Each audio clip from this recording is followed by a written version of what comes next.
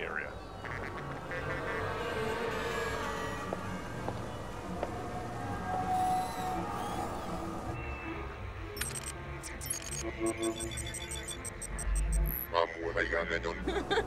You two move along. This area is threat level orange. Move along.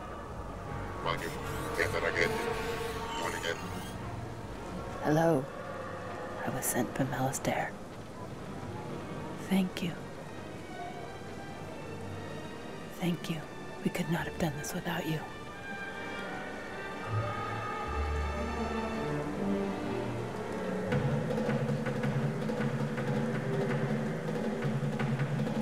I think this is some kind of drill.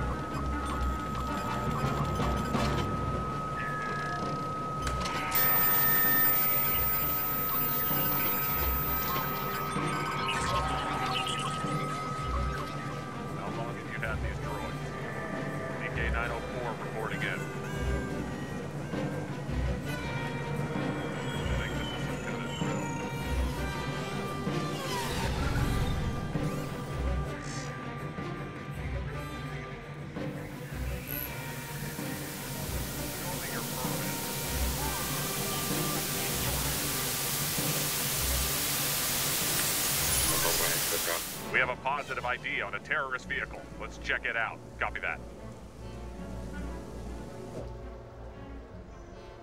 خیلی طول میکشه تا بتونیم اطلاعات رو که میخوایم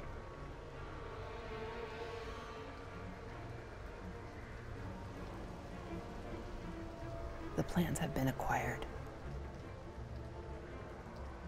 We will need weapons and your best soldiers. We will also need a ship. This console has been compromised. Lock down the area and search the vehicle. Alert Team 2 of our situation. We have a ship. Cruiser class?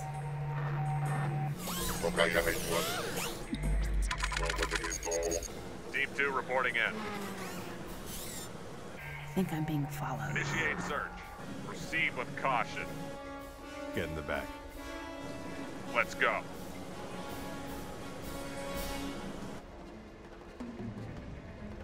Nobody move. Who is the owner of the speeder outside? Team 1, attempting entry into vehicle.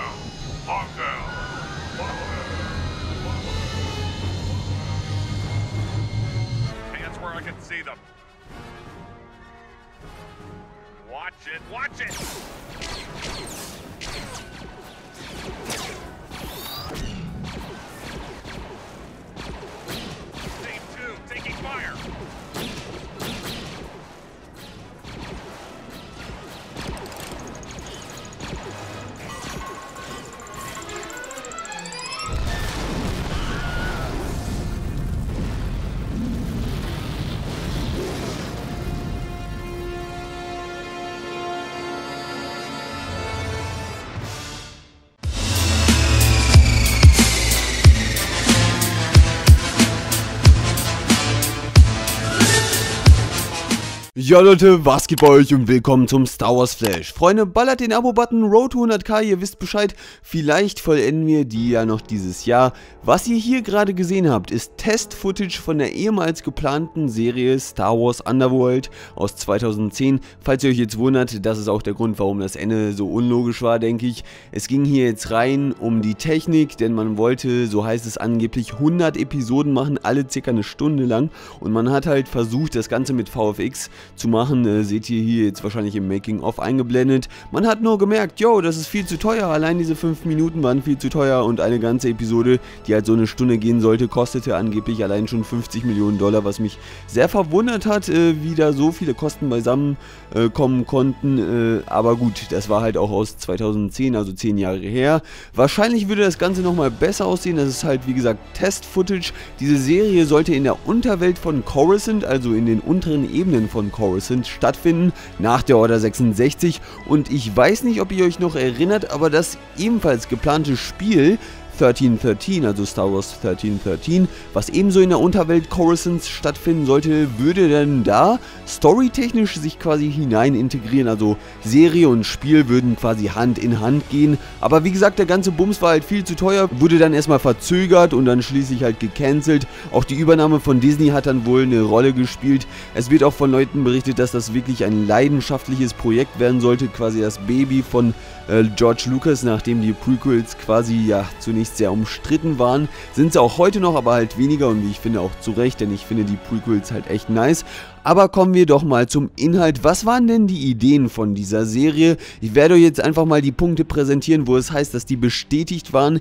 Die Hauptcharaktere wären halt Boba Fett, Saw Gerrera, Han Solo, äh, Lando Calrissian, Chewbacca Palpatine und Darth Vader. Und dort gibt es dann halt die Unterwelt Coruscants äh, mit vielen kriminellen Clans und Organisationen und dieses Level 1313, also mit Level manchmal ja quasi den Ort dort oder die Etage. Es ist ja quasi recht bildlich bildlich gemacht. Oben sind die Reichen und unten sozusagen der Abschaum oder halt die Armen auch noch. Und ja, jedenfalls dieses Level 1313 wäre halt ein ziemlich gefährlicher Ort gewesen. Der Regierungsbeamte äh, wäre dann dort halt Mas Ameda und äh, Darth Vader soll halt im Geheim mit einem kriminellen Syndikat zu tun haben, namens Crymora Syndikat. Dann wird es da halt noch so einen Haufen umprogrammierter Kampfdruiden geben, die halt nicht deaktiviert wurden am Ende des Krieges und diese Gruppe von Druiden würde halt von diesem Crymora äh, kontrolliert werden.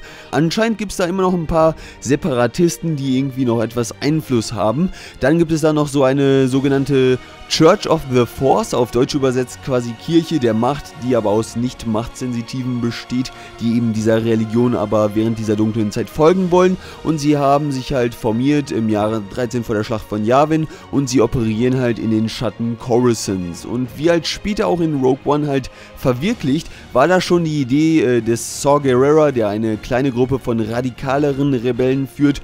Und dann gibt es da halt viele Rebellengruppierungen, die sich dann halt später zusammenfügen und die Rebellen Rebellenallianz formen. Und dort sollte dann halt auch Palpatines Vorname Chief äh, scheinbar bekannt werden. Und das heißt, Palpatine sollte dann von so einer herzlosen äh, Gangsterin betrogen werden. Und dann sollte man sich mit ihm quasi identifizieren können. Und das macht ihn halt so ein bisschen sympathisch. Und dadurch sollte er aber halt auch als Mensch total verdorben worden sein, also quasi nach dem Motto, dass er da endgültig sein Vertrauen in die Menschheit verloren haben soll, quasi so ein Flashback zu einem jüngeren Palpatine, Wäre vielleicht gar nicht schlecht, denn es ist halt die Frage, er ist ja jetzt von der Spezies Mensch, wie kann man so unermesslich boshaft sein wie er? Und vielleicht, äh, wenn man es gut erklärt hätte natürlich, würde ihm das noch ein bisschen mehr Tiefe geben, denn so ist er halt einfach dieser diabolische Schrumpelsack.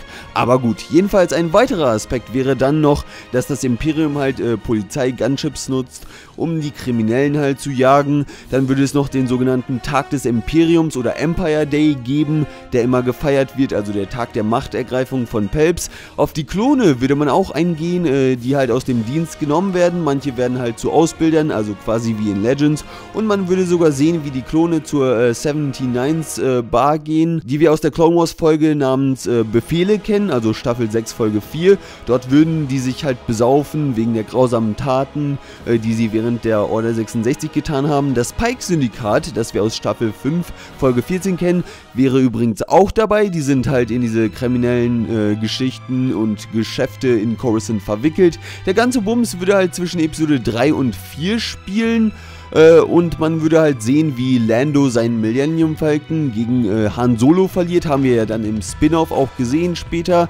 Und Boba Fett wäre dort in Action gewesen. Also wie gesagt, das wäre alles bestimmt sehr interessant geworden.